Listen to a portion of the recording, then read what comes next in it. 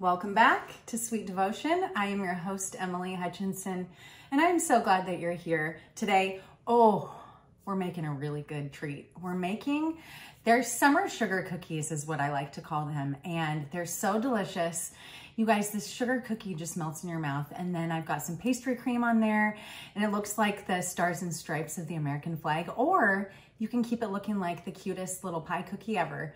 I think that you guys can do this. I wouldn't bring you a recipe that I did not believe that you guys can execute. So this one is gonna be a good one. And then we're gonna read out of my devotion book. It's a perfect devotion. It's for the 4th of July. So Let's get started. Whisk together our flour and our baking powder, and then we're just gonna set this aside. Stand mixer, I've got my butter and I've got my sugar, and we're gonna cream that together.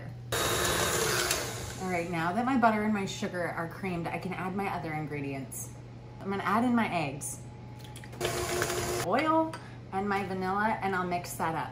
Then you wanna add in your flour and your baking powder, and we're gonna put a towel right over the top so all the flour stays inside of our mixer.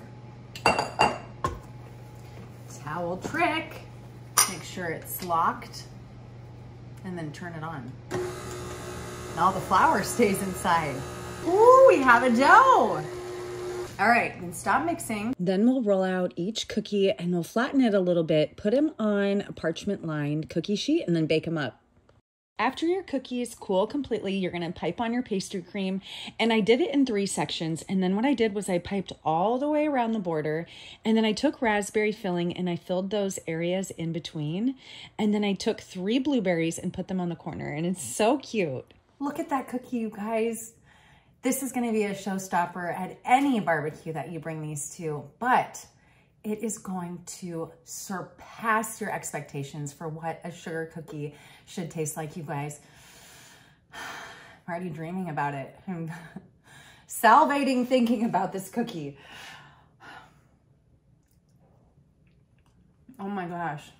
It is everything that you can want in a summer cookie. The sugar cookie is beautiful and delicious. And then the pastry cream, perfection on the cookie paired with the tart raspberry filling sets it over the top. You guys, this is so good. Do not sleep on this recipe. You guys need it. There's literally an explosion of flavors that happens in your mouth, which is perfect for the 4th of July. So I hope you guys give this a try. You guys, these are so delicious. All right, let's get to that devotion. July 4th, a statue of liberty. If the Son makes you free, you shall be free indeed. John 8:36. During the national observance of the 100th anniversary the Statue of Liberty in New York Harbor, I was struck by great emphasis on the number of immigrants who had often left everything behind. Coming to America with nothing but the clothes on their backs, they risked their lives for something they had valued more than everything they had left behind freedom. They did not take their adopted country's hard won freedom for granted, and neither must we. Their experience is a picture of what we must do when we come to Christ. We must forsake our allegiance to the world and leave behind all of its offers and become citizens of the new kingdom, the kingdom of God. His Statue of Liberty is in the form of the cross. The statue in the New York harbor lifts her lamp Besides the golden door, the Statue of Liberty on that hill outside Jerusalem's lights, the way to eternal life. Isn't that so good? That just warmed my heart and my soul. And, you know, I was thinking about how my great grandma came over here from Holland to Ellis Island and she met my great grandpa. The rest is history. And, you know, when I got saved by Jesus, my life was transformed and changed and never the same.